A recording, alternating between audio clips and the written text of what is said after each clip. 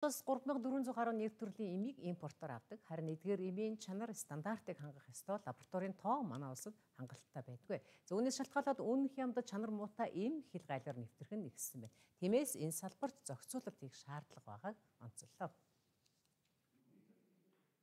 Иргэд эмийг хоошигээ хэрэглэх болсон гэдгийг мэрэгжлийнхээ анхааруулсаар байна. Өөрөөр хэлбэл зах зээлд худалдан борлуулагдж байгаа эмэнд тавих хяналт сул байгааг хэлж байгаа юм. Улсын хэмжээнд ийм импортлдог 220 орчим аж ахуйн нэгжүй. Эдгээр аж ахуйн нэгжүүд нэгдсэн журмаар худалдан авалт хийдэггүй.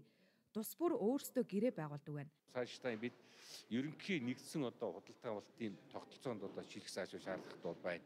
За ингэж чадах юм бол энэ иргэдийн яриад байгаа энэ эмийн одоо өндөр өсөлттэй болоотой асуудлыг зохицуулж чадна гэж үзэж байна. Одоо тээврийн зардал маань нэмэгдсэн одоо энэ олон дайн дайжин одоо ковидтой холбоотой түүх эдийн өсөлтүүд байна. Энэ бүх одоо зүйлээс болоод эмийн үн маань бол ингээд тодорхой хэмжээ нэмэгдсэнийг бол асар өндөр үнэтэй өртгөөс асар асар өндөр одоо үнээр зарагддаг гэх мэтчлэн одоо ярьж ойлголт яваад байдаг. Гэтэл бид нар бол одоо инфляцийн өсөлттэй холбоотойгоор нэмээгүй одоо яалтчгүй үйлдвэрлэгч үнэ нэмсэн, ханшийн зөрүүгээр үнэ нэмж байгаа. Тэгэхээр бас энэ ойлголтын зөрүүнүүдээс бид нар бас арилгахыг хүсэж бас сайдад бол хандсан байгаа. Одоо жишээлбэл HPLC гэдэг орчин үеийн хамгийн дэвшилтэт одоо технологи бүхий шинжилгээний багаж гэтэл ганцхан ширхэг багч жишээ нь тэр нь 10 гаруй жил болсон 10 жил болсон багаж юм тийм ээ тэрнийг ажилуулж байгаа боловсон хүчин байна уугүй юу гэдэг асуудал байна. За миний одоо бодож байгаа тооцож байгаагаар бол HPLC гэхэд дор хаяж 5 байх шаардлагатай байна. Тэгжээж энэ одоо Монгол улсад орж ирж байгаа ийм түүхийд тийм үйлдвэрлэж гарч байгаа бүтээгдэхүүнүүдийг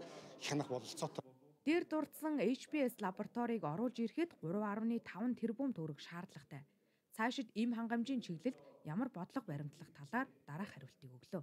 Засгийн газрын авилга албан тушаалын одоо хэрэгэ болноос улсыг одоо хөлгөө болгож байгаа энэ одоо төрд одоо төвлөрж байгаа хөрөнгийг эхний ээлжинд эрүүл мэндийн салбар загшин зарцуулах ийм хууль эрх зөрчин бүрдүүлгээд Нямбатар сайд Витерт даалгавар болгосон 3 сарын сүүлээр хуулийн одоо төсөл бэлэн болоод засгийн газар орол бол их хурл руу орно ингээд ингэх юм бол энэ бас энэ лабораторитой холбогдож байгаа чанарын одоо шаардлага хяналт одоо тавих лабораторийн донд төхөөрөмжийг одоо шийдэх асуудал бол энэ бол шийдчихнэ.